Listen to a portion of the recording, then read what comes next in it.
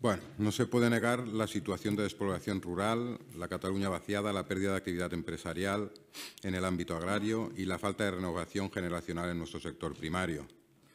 La, la población activa mayoritaria en el sector de la agricultura supera los 60 años y lo mismo pasa en el sector ganadero.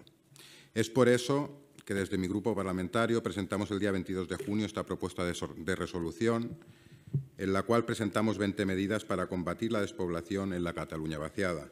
Lo que sí es seguro y sabemos todos en esta sala es que tenemos un problema y hay que actuar rápido. Ya sé que la mayoría de ustedes nos han puesto un cordón antidemocrático, pero también sé que el tema que nos ocupa es importante y prioritario para todos. Aquí hemos venido a trabajar por los ciudadanos y por nuestra región.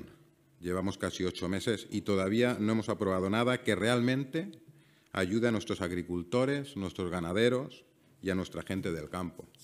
Este es un buen momento para demostrárselo a todos ellos, a todos aquellos que viven en la Cataluña vaciada.